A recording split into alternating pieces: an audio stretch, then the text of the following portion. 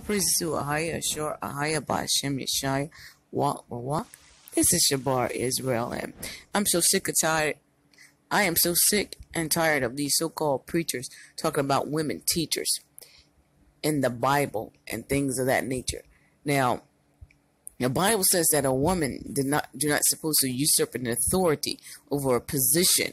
But does that mean that woman cannot have a position in the earth? Absolutely not. It does not. The Most High can ordain who He wants, male or female. He made them in His image. And personally, I wouldn't want any of these positions concerning Pharisees, scribes, Sanhedrin. None of them. Let me ask you something, false prophets and prophetess, false men.